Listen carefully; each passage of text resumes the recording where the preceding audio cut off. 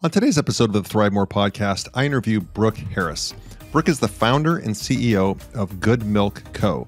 Good Mylk Co. is an almond, hemp, and oat milk company, all natural. She's going to share uh, some insights on, you know, quote unquote, healthy foods in the grocery stores that aren't so healthy. So it's a really interesting conversation, and I learned a lot but she's also going to talk about her journey as an entrepreneur. So it's kind of a two for one. You're going to learn about health and about some of the products that uh, we, we think are healthy that are not so healthy, in addition to her journey as an entrepreneur. And she just talks openly without a filter, and, and I love it. You're really going to enjoy this episode. Brooke is the founder and CEO of Good Mylk Company. Better for you and better for the planet, plant based milks. Brooke is also the co founder of Rome, a lifestyle brand designed to find inspired and unique goods for your home. She has a great story, and I know at the end of this podcast, you're going to think about possibly the healthy thing that you're drinking right now may not be so healthy, because that's been my own uh, realization here lately. So, Brooke, welcome to the ThriveMore podcast. Thank you, Roger. Thanks so much for having me. Oh my gosh, yeah. Um, I had fun doing some research on you and your company and, and your products uh, before uh, we, we got to this podcast. And it was pretty enlightening. Um, I, I pride myself on living a pretty healthy life and eating fairly clean. Um, but man, some of the stuff that I've now understand uh, has been, you know, quite enlightening. So I can't wait for you to share this with the audience. But before we get into kind of the products and and really the basis for your company, can you talk about your journey of how you know what you were doing and how that started to transform and then you know you, you out of that was born Good Mylk company. Yeah i'm definitely an accidental entrepreneur. Um you know in in hindsight it was it was always meant to be but um i didn't go to business school. I didn't have the plan to start a business. I grew up in a really small town in um the middle of nowhere in new york state my grandparents were dairy farmers. My mom was a teacher. You know, that was kind of the direction and, and path that most people were expected to take. I always knew that that wasn't for me, and I had I wanted to get out of that. I never I never felt like I fit in, in in, that place, and it was an incredible place to grow up for many reasons. But mm-hmm. I always had a plan to run away at sixteen. I, I didn't, um, but that was my plan for a long time. Yeah. Um, but I fell into entrepreneurship just by trying to solve my own problem and you know realizing there was a need for something that didn't exist and that I could maybe be the one to create it. Yeah, yeah. Really much beyond that. Am I correct in saying that it's um it was really around some personal health issues and that journey that that brought you into entrepreneurship? Can, yeah. If, you, if you'd be open, you know, kind of talk about that. Absolutely. So I left Western New York and moved out to Los Angeles. I had um, I had gone to film school and so wanted to work in film and television. And once I got into that industry, it's it's pretty intense. Um, you know, long hours, weird hours, weird things you're doing, always on the go. Yeah. And when I moved, I was a vegan. Hmm. And when you come from Western New York to Los Angeles, especially in you know whatever this was, 2008 or nine um, you're coming from eating iceberg lettuce and hummus, like is what you're living off of, to a place like LA where there's just vegan everything. There's vegan restaurants, vegan grocery stores, and now it's it's everywhere. But you know, mind you, this was quite a few years ago. Um, and I was in heaven and just eating all the vegan things the vegan burgers, the vegan sausages, the vegan cakes, um, and on the go constantly.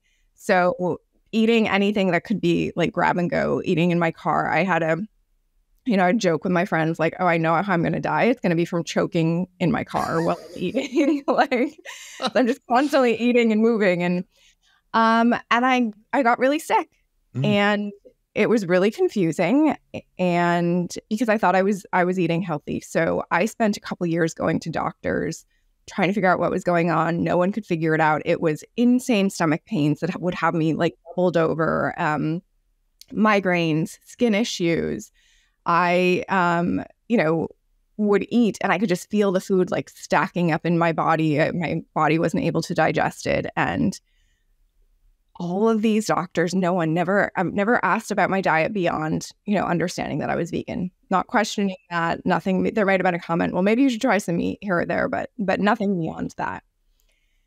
At the end of it, got to this doctor who was like, I'm going to fix you, you know, did a, a endoscopy, a colonoscopy, did the, this camera pill that like took photos through as it traveled through my intestines, came back with a diagnosis of IBS, mm. which is a BS diagnosis. You know, sure, it, sure. Like, we don't really know. yeah, um, yeah, exactly. And you're basically going to have to live with this. And it was just so frustrating and defeating and um, really, really hard to hear. And lucky for me, I was in Los Angeles. And in a very LA moment, I was hiking this this very popular hiking trail called the Runyon, where people get like dolled up to hike because you see celebrities. And I was not one of those people. I was, you know, scrubby hiking with a girlfriend, and we were talking about a cleanse she was about to go on, mm-hmm. and uh, another very LA thing. Uh, yeah. and a woman, a woman who was hiking in front of us, turned around, started talking to us about it. Turns out she was a holistic nutritionist, mm. and I sat down with her a few days later. Within 45 minutes, she told me what was going on, and said, "Hey, you need to cut out processed foods." And I was like, okay, well, that shouldn't be a big deal. Like, I eat healthy. Went home and started checking the labels of the things that I was eating and realizing, whoa, these are highly processed, a lot of ingredients that I have no idea what they are. And my almond milk was the one that was most surprising. Mm-hmm. It was something I was consuming multiple times a day, yeah. assumed be- that it was healthy because it was was plant based milk. Me too. Me too. Yeah. Had never looked at, flipped it over to look at the package and or the ingredients. And when I did, I was like, okay, this is not what I thought I was signing up for. There's also the nutrition facts don't make sense. There's no protein in here. I know almonds have a lot of protein. I now know that that's because 2% of the container is almonds, which means yeah. about two, two to three almonds per cup of you're getting. Yeah. Which is so crazy. The rest of it's just gums, binders, fillers. And the almond milk is what made me feel most discouraged because I was, you know, having it, cooking with it, putting it in smoothies, putting it over cereal.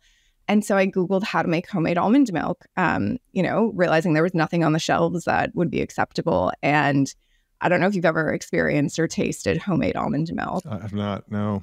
It's it's incredible. I mean, to, homemade anything. Think about like your mom's pasta sauce or, you know, anything that's homemade versus what's in the store is going to be yep. way better. Yep. And plant-based milk is no different. And so started making it at home, fell in love with it, started feeling within two days of cutting out processed foods, I started feeling better. Wow. It was crazy. Um, and now, you know, my diet is very limited, if any, processed foods. And that was a work in progress. But based on how I felt and what a difference it was, I never turned back after that. Yeah. Yeah. Uh, and which has been a really exciting journey for me, but also a journey realizing how far removed we are from the most important thing we do every day, which is feed ourselves with fuel. Literally. The, and it's the last thing we think about, right? It's like, what's quick? What's fast? How can I get this over with and go on to my, yeah. Yeah. And not even that. We have such a lack of understanding and we trust businesses to tell us what we should eat or what's good for us, you know, that are, are built around making money. The food industry is no different than any other industry. Their, their top priority is to maximize profit. Um, and they are very, very powerful lobbyists. Very powerful lobbyists. Yeah. Yes. And the side of it where, like, hey, what you're putting out actually impacts people, impacts their health, impacts their the way that they show up in the world, impacts them financially with medical bills. Like, that's just not a factor in in industry and that's a way that we do business differently is that's a huge piece of eh, the perspective that we run everything to is this the healthiest is this going to be good for people is this going to make people feel good is this going to not do any harm to people. I will say, um, I, I'll just never forget this. I, I, lived in Massachusetts at one point and we went apple picking, and I'd never been apple picking, and pulled an apple off a tree and bit into it, and it was bright white inside, and it tasted. And I'm like, this is what an apple tastes like. I've, I've never, I guess, I've never tasted a real apple. Like, oh my, it's so different when it's, you know, that farm to table thing. So I, I've, I have experienced that in a different food, and it, it it was you know once i was blind now i can see kind of thing if we can just go back real quickly I, just because it's always fun to hear so you grew up on a dairy farm yet you were vegan right? So I would imagine no dairy. Um, and then you move, you go end zone to end zone, New York to to LA, um, and and then film school. So I would just want, I'd, I'd love to understand like how you became vegan on a dairy farm, and growing up on a dairy farm, and because that's just you know there's a dichotomy there. And then I would just I'm just curious like uh, when you went to film school, like what what were your goals? What, what did you want to do? Was it feature films? Was it you know commercials? What what what, what did you what were you searching for? Yeah. So uh, not only did I grow up on a dairy farm, but my family are all hunters. Oh my gosh. Um, yeah. And my brother is a big time hunter. And um, so it's all about dairy and meat, right? Yeah. And I became a vegetarian at age 12. Hmm. I didn't know what vegan was, and I didn't become vegan until I was like 17 or 18. Um, but I became a vegetarian, and milk just kind of always grossed me out. Um, I, you know, in our marketing at Good Mylk, we don't speak really against dairy milk. I think people have a lot of information about dairy milk.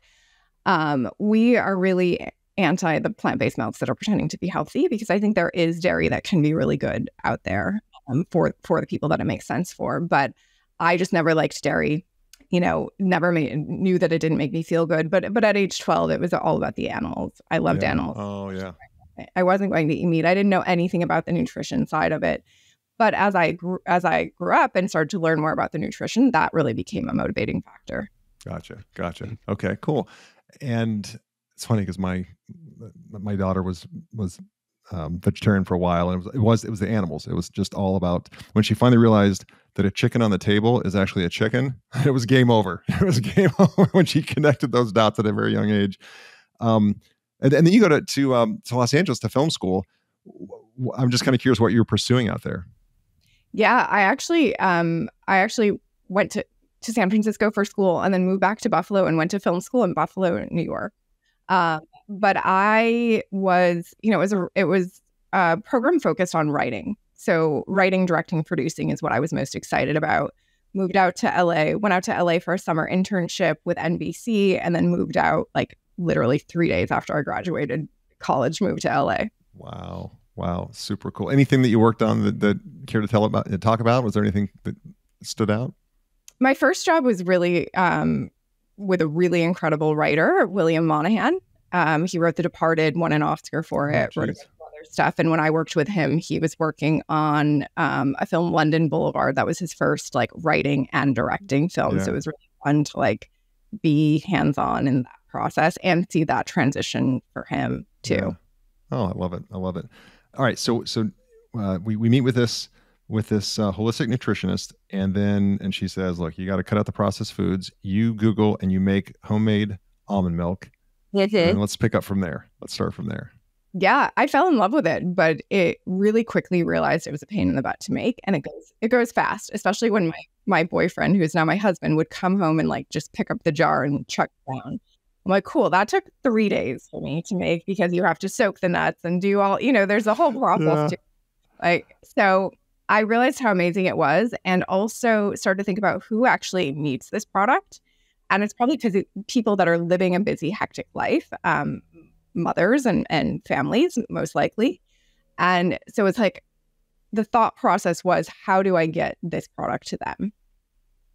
And that was through local farmers markets. So in LA, the farmers markets are thriving. They're super busy. Um, they're a destination a lot of people, including myself, do, you know, 80 to 90% of their grocery shopping at farmers markets. And I got really lucky to get into a good one right away and started selling the product. And it, took off from there and, and gave me the confidence to understand hey, I'm really onto something. There is a need for this. And also, the products that I make are really good. Yeah. Yeah. Yeah. So you would make these like in your house, I would imagine there's a lot of regulation around food, especially liquid. Um, you have to have a commercial kitchen. So I was lucky. Okay. Um, my journey to this, I didn't go directly from film to this. When I was in film, the film and TV world, I met a woman who was starting a snack bar company, like just hmm. bars. They were superfood bars. She was like new to it. She had just had a baby. We ended up talking. I was like, hey, let me help you, like on the side for fun.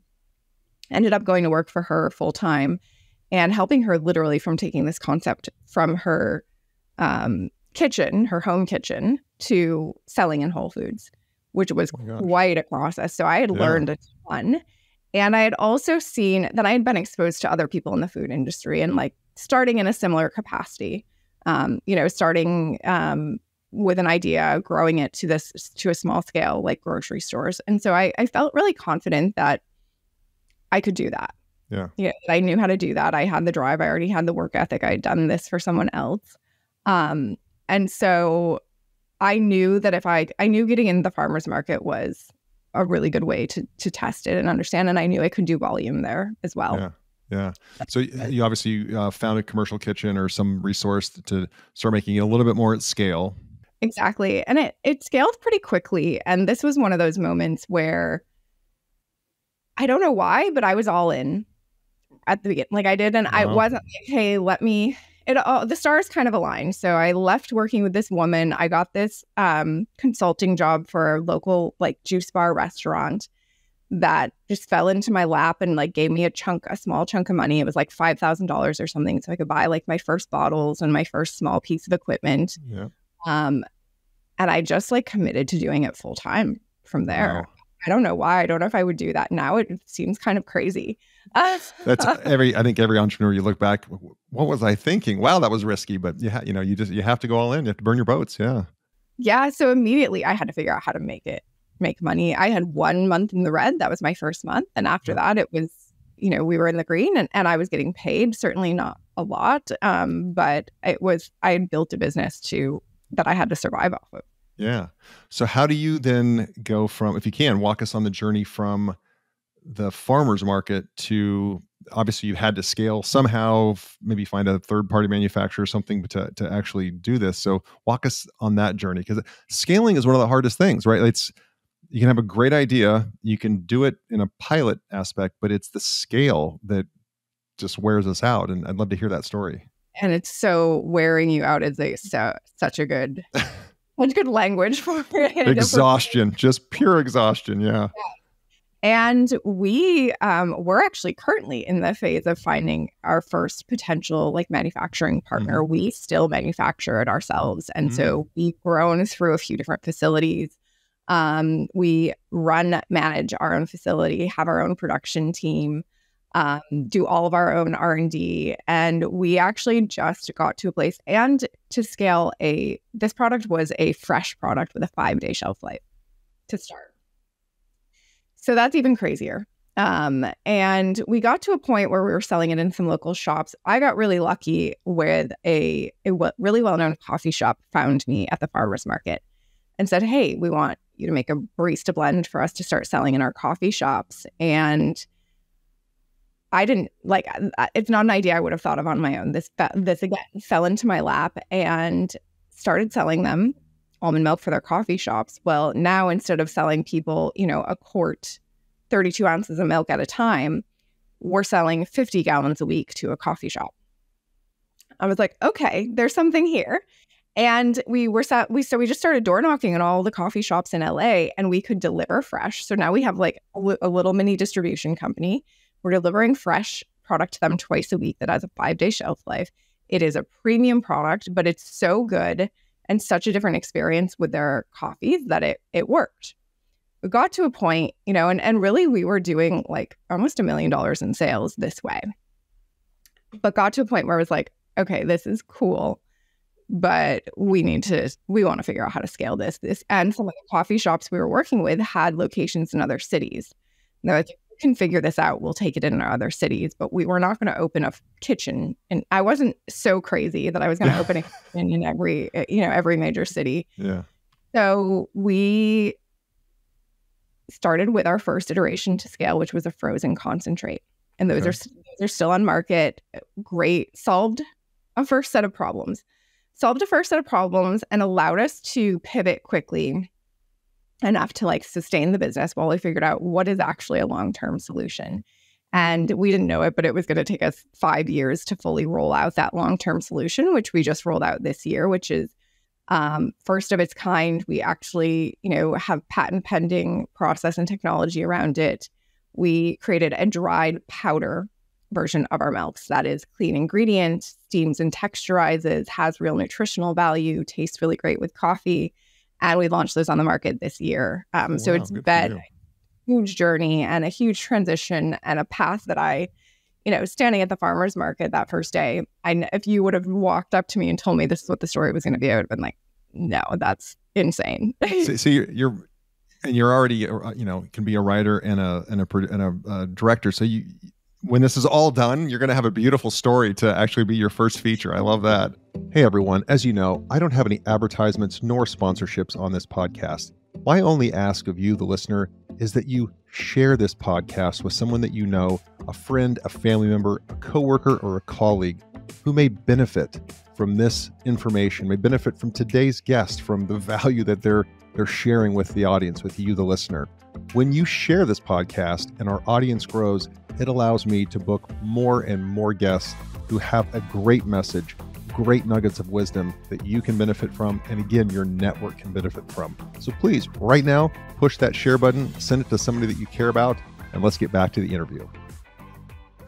You know, my bad. We kind of skipped over why this product is so different and that's what caught me when i was doing the research for this podcast of and really kind of awakened me to what i have been drinking. Can you speak to how your product is markedly different and really what's on the market in the grocery stores right now and how different that is from what you're actually offering if you could explain that? Yeah absolutely. So because of my journey and and now you guys know that journey we everything that we do every decision we make goes through the lens of is this going to be healthy and, and good for people? So that's not something that all foods, that's not a lens that all food companies um, work through. And so for us, that means one, using the highest quality ingredients, using more of them. So there's actual nutrition value. As I shared, you know, um, container of almond milk has, if you look at the nutrition facts, there's, you know, one gram of protein per serving. Ours has six grams of protein per serving. So if you're using real real food, there's real protein, there's, you know, fiber, there's fat, there's all kinds of things that ours has that other plant-based milks don't have. We do almond, oat, and hemp, all separate SKUs. Um, the oat milks on the market, beyond there being a bunch of binders and gums and fillers in these products, um, and they do that because it's cheaper than using real food. But beyond that, you know, the oat milks on the market, which everyone has kind of hit this oat milk craze, um, most of them have seed oils in them, which are incredibly inflammatory and harmful for our health. There's weird processing. This is a whole other layer of the food industry that people just have no clue about. And there's not information on the packaging. Like you have to dig and really understand how food is made to to learn this. But the processing is really dangerous. So oat milks, they use an enzyme that breaks the oats down into a sludge, essentially, which is actually maltose, converts it to sure. maltose. Yeah. So any of your listeners can Google um, Oatly, which is a brand, Oatly, the new Coca Cola, and an amazing article will come up breaking down how oat milks are made and also sharing the fact that you would be better off from a sugar perspective drinking a Coca Cola than having oat milk. Wow. Wow. And these are products that people think are healthy for them. So it's incredible it's incredibly frustrating. Their products people are drinking first thing in the morning. Um, you know, Starbucks has a brown sugar oat milk latte. Like you're literally giving someone diabetes. yeah, I was gonna say that's diabetes type two, just waiting to happen, just waiting yeah. to happen. Yeah. Yes, and wow. so that's where a lot of our drive and frustration comes in. Is yes, we want to make a better product, but these products that are on the market are not only not you know, not good for you. They're actually can be really damaging to people's health, especially if you're already in a vulnerable um, position with your health. Yeah, yeah. So there's a huge part of, of this that has to be education, and I, I guess I would. I just, we have a, um, a couple franchises. One of them is an infrared sauna franchise, infrared sauna studio. In LA, everybody knows what that is. In you know Des Moines, Iowa, not really. And I'm curious. I would just love to hear your thought. You know, you are having to educate a consumer before you can sell a consumer, which is not the easiest thing because the market is not well versed in it. How what approach have you taken to educate?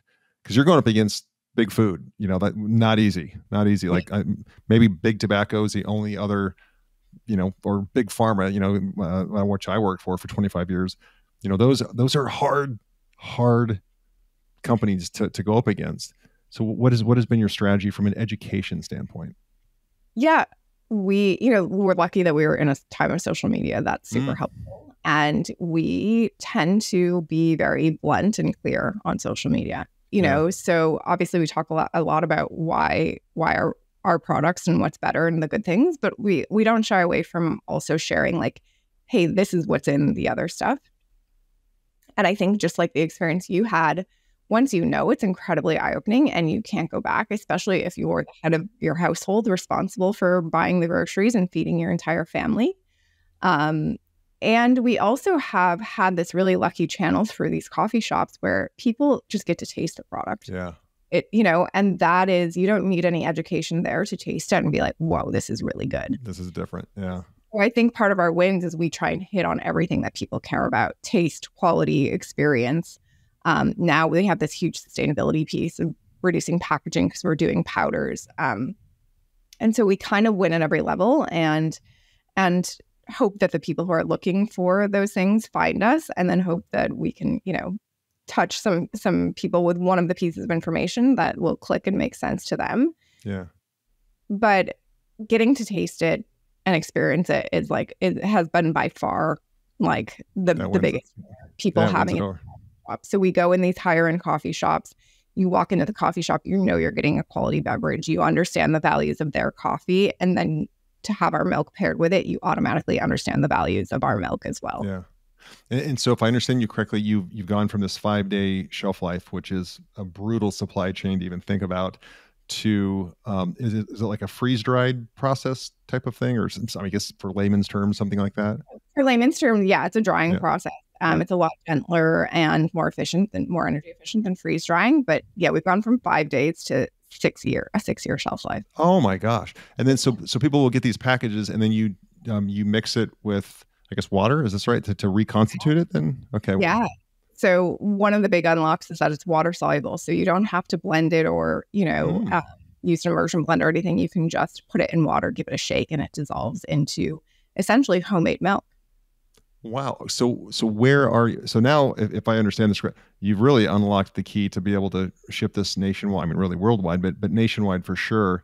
And so, what does your distribution look like? You know, the listeners for this are all over the globe, but but but um, yeah but mostly in the United States. So where where are you available in the United States currently?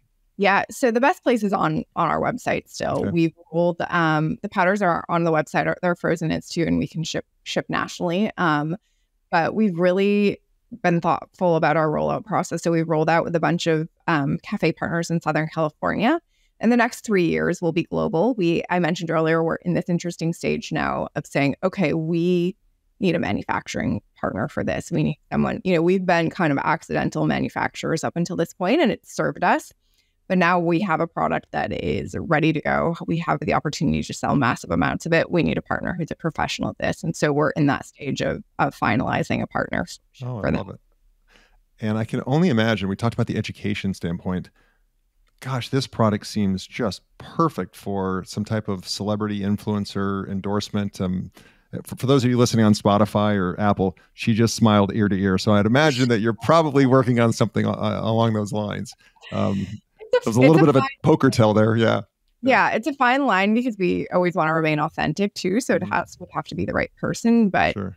yes, this product hits every everything that someone would would want to represent. Yeah. Um, yeah. Yeah, good. That's great. That's I would love to hear you talk about. So you you've said so many times. Uh, one, you've you've said lucky like five times, six times. I'll tell you right now. Maybe one time you get lucky, but I have found that people like you, you're putting yourself in a position to be lucky, right? Maybe the fact there's a nutritionist on the hiking trail in front of you, okay, that's luck. But then everything you've done since then, that's hard work meeting preparation, quite frankly. So give yourself credit for that.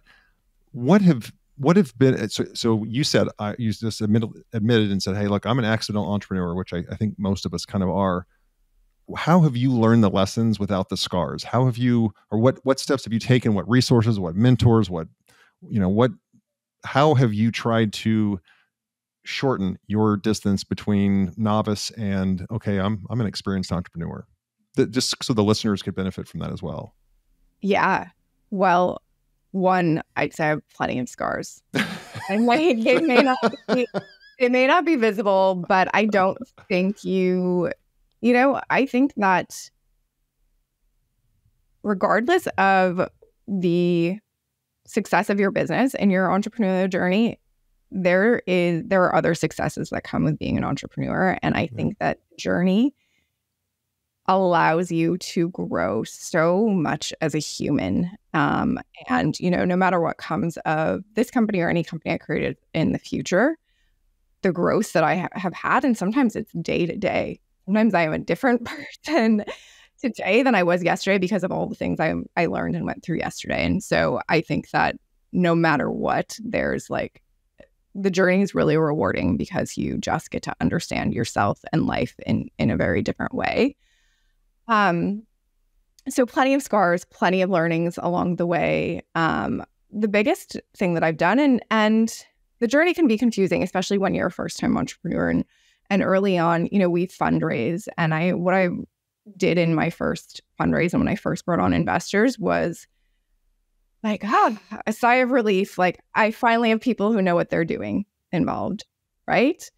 And I gave away some of my power. And I, I did that in, in more than more than once in this journey. And you quickly realize no one knows more about your business than you. No one's more interested or more invested in moving it along than you. And so I've had some mentors along the way, um, definitely gotten good advice. The most impactful thing has been building a founder network. And those founders that are even at the same level as you, um, but a founder's perspective is just very different than anyone else. Someone who's been in there and built something from the ground up. Um, so having a founder network has been the number one biggest biggest asset for every piece, from fundraising to the low moments where you're just like, man, I just have to talk to someone about this yeah. and get it out, or someone to confirm I'm not crazy, or yep. Um, so our, that would our be spouses can only listen so much to like, I'm losing my mind. exactly. And they typically yeah. relate so much too. And for me, yeah. it gets more complicated because my husband's involved in the company now. He yeah. runs operations. Um, so that's very complex. And I've been grateful because he understands a lot of it even more. But still a very different position running operations than being the one out dealing with investor relations and sales and um, but I think like the biggest thing that served me in this journey is just showing up, like committing to showing up every day. And, and there's some days where I'm not maybe not showing up in the best the best that I want to be, but like the mindset of like getting out of bed, showing up. Yeah, I love that you just said that because that is 80% of it. Uh, my my experience has been it's 80% of it because the natural attrition of just human beings saying, you know what, I can't do this anymore. And you keep showing up, pretty soon the competition starts to thin out and it's not quite as as challenging. I mean, I I will probably, you know, I will go to my deathbed saying that entrepreneurship is one of the hardest things you can do. And I don't know if it really ever gets easier. I think just the challenges that once you solve something in the business, something else breaks and then you got to solve that and then something else you know the problems just get bigger and, and the money gets bigger and the risk gets bigger um, but i love that you just said that showing up especially on the days and i'm sure you felt this where you're like i don't want to do this today this is just really really really hard and it's been hard for as long as i can remember but those are the days you have to get up and show up and then the next day sometimes it's a little easier you know the next day is a little easier then it gets hard again but you're right. I, am glad that you said that because people need to hear that, and, and so that the you know people's eyes are wide open going into this. Because and I love that you said that you grow as a person. I hadn't really heard that just said the way you you said it, but it's true. Entrepreneurship, yeah, you, you make money and you can create jobs and stuff, but the personal growth that you experience, you're right. It's it's like a rocket ship to personal growth because the business forces you, right? Yeah. Yeah. And it forces you, you know, the trauma that it pulls up. That in other, if you, you know, yep. were in another position in life, you may might be able to bury forever. And like sometimes that sounds kind of nice. Like I don't want to face my trauma. um, but you can't do that when you are leading a, a, company and it just throws it in your face and you have to you know the only way out is through um, yep. with a lot with a lot of things and through is so intense sometimes, but every time you get on the other side and you're like, whoa, I did it and I am so much better of a person for doing it. And perspectives on life and the world are completely different. And I'm yeah. grateful. I um gentleman that works with me here, we've we've talked and joked so much about this that and I've read so many biographies of founders, um, uh, and I like like you, like it just it's so great to read or hear or something, hear a podcast where like, okay, I'm not crazy. Everyone else is. It's that hard for everyone else too. And you know, in every founder story, you know, it's like the wheels are coming off at every second, and then but somehow they keep the the car on the on the road. But we were we were kind of joking that almost all these biographies they talk about, you know, even Steve Jobs, every you know, Elon Musk. There's a certain level, I believe, there's a certain level of trauma that is almost in your earlier life, in your childhood, whenever, that is almost healthy because it drives you, right? It, it drives you to achieve something, to prove something, to do. No trauma no, not very motivated. Too much trauma, obviously, you know, you're in therapy for the, your whole life, and, and, and you know you're dealing with that. But but there's like a, I swear that, and, and um, maybe I'm wacko for saying it, but there's like this sweet spot of childhood hardness, whatever that form that took, that I think serves us well as entrepreneurs when we're when we're in our, our business. Uh, yeah, it's something I'm I'm working through. This exact topic is something I'm trying to like wrap my head around right now because absolutely, you're 100% right. It does. It serves us. But is there a point where it stops serving us? Mm. Is what I'm trying to figure out. And it's like the hustle, the, for me personally, it's been this realization of like, oh, this, it's this prove it energy. Like, let me prove it. Let me prove my value. You know, I had scenario in as a kid, I was abandoned by my father. Well, let me prove to you what a mistake that was. Yeah. You know, yeah. investors that say no, no, cool, just another chip on my shoulder. Let me prove to you that you are going to regret saying saying no. Yeah. And so that energy does serve you. And I've done, you know, there's um a bunch of different tests you can take and and one of an, an actual one of our investors it was really cool they before they even have a conversation with you they have this specific like personality test that they have you take and you know, depending on how you score, they'll then take a call with you. And, and um, I scored my drive to win is higher than 98% who take, yeah. take their test. And that's like really cool. But it's also like, man, what damage? like, you know, what has gotten me to that point? And then you hit a place in life too where it's like, cool, the hustle, there, there's, there's, a time and a, a, space for all of that to serve me. And, you know, now I, I have a kid and that completely changes your perspective on mm-hmm. life. And I'm now in a stage of like, that stuff has served me. What will serve me best for this next chapter of my business? It and it probably isn't still that like prove it, you know, egoic energy. And how do I let that go? And also find like allow me to find peace in running a bit because the stress and chaos and excitement and adrenaline are incredible, but they can't they they can't be the main feelings. It's not forever. sustainable. It's not sustainable. Yeah, yeah. I'm really I, am just grateful that you shared that um, because I, I think that so many people will benefit from evaluating and that self discovery of what is this drive? Why am I doing this? What am I, you know? And again, you can choose to let it continue to drive you. You can choose to I'm going to I'm to move past that and find other things. But I think that self that self reflection is just critical as growing as a human being. But it just happens to be through the conduit of business that we, that we are forced to do that. Yeah, yeah. Um, can you talk a little bit about Rome? I would just love to hear a little bit about Rome and, and, and what that is. Yeah. Yeah. Rome potentially came in this chapter of of answering that exact question. Mm-hmm. Like, you know, how what would a business look like that was a little bit less of a prove it energy, that maybe was a little more collaborative, that was less pressure and just for fun. And so this idea came a girlfriend of mine who who actually started as as one of my first employees. She was my assistant years ago, grew into head of sales for our company and has become one of my closest friends. She went to Morocco on a trip and came back and brought me this beautiful rug. And, you know, was talking about how how amazing it was and how she'd love and how she's brought pieces back for everyone and they're so in love with them and how she'd love to do that, you know, as a as a job. And literally that night she left and I couldn't stop thinking about it. One, the piece was so beautiful. My dot, my two year old's obsessed with it. Like it just was bringing so much joy into our household, and um, just got this download of the business name, the how it would work. Um, like created this entire business in my head in like three hours.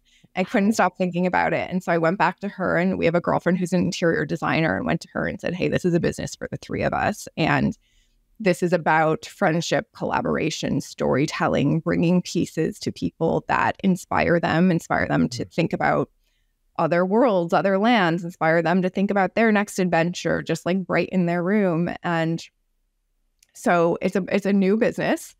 And um, we designed it around, you know, importing and traveling and bringing in textiles and and and sharing them with people. Um, but it's it's really shifting to so much more than that. We really like the inspiration, the community vibe around it. Like it's been really cool. So we're trying to figure out.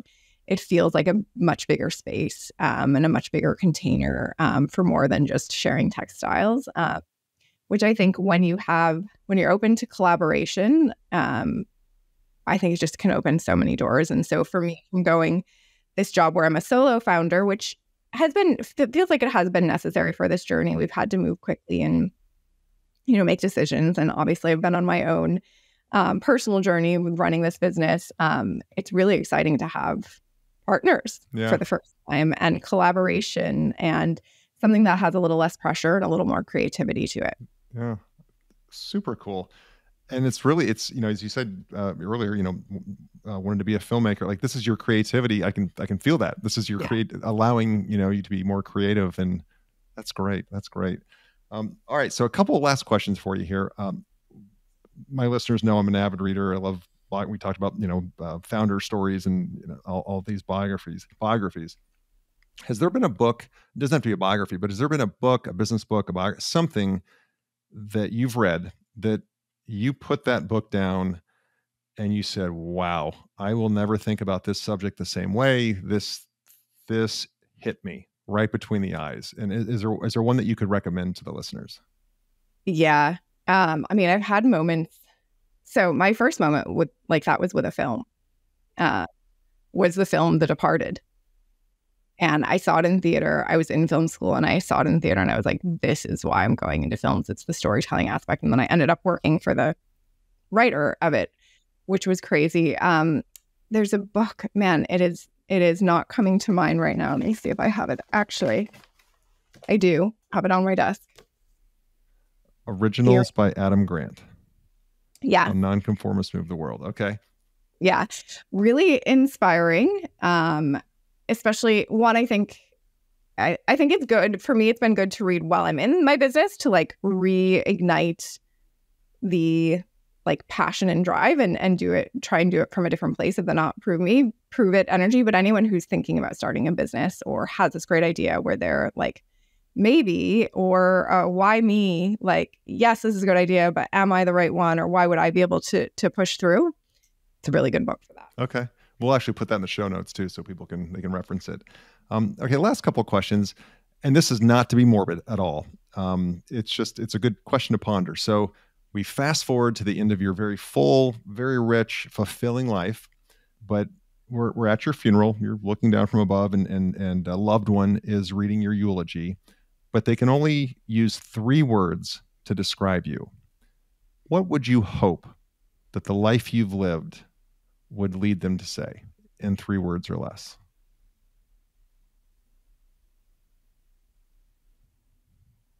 Wow.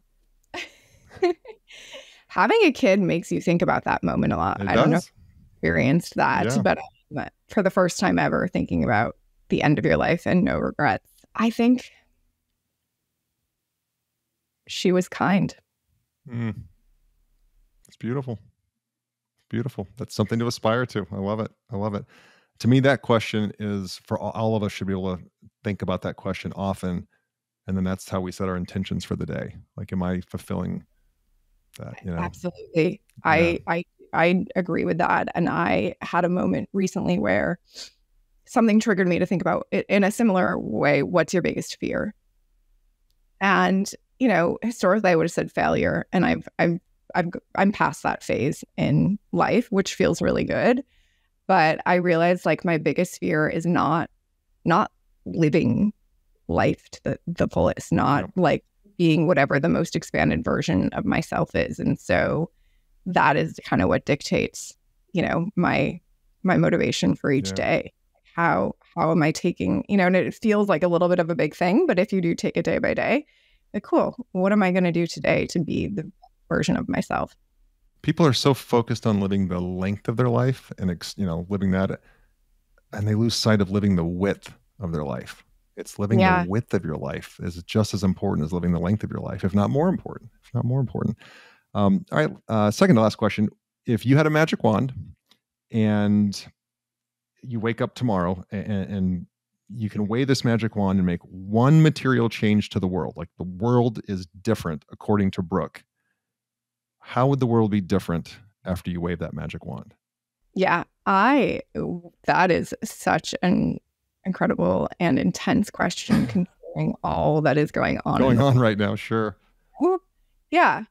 I wish, you know, I, I think there's so much divide in so many different areas around like good or bad, differences, right or wrong. I wish that if I could wave a wand, I think that people could just have the willingness to accept other perspectives and not have to label them as right or wrong or good or bad and just accept okay that's your perspective.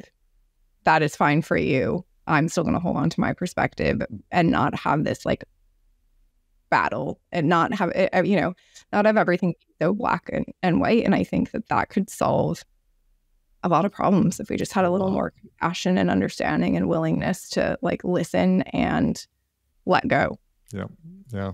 I had a, I, I absolutely and agree with you 100%. I had a gentleman um, answer that question with, he goes, you know, if it's been 6,000 years and I've been throwing rocks at you and you've been throwing rocks at me, maybe it's time we sit down and have a cup of coffee and figure out what's going on here, you know? and, and he actually said that a couple months ago before all hell broke loose in the, in the Mideast, but it is just communication.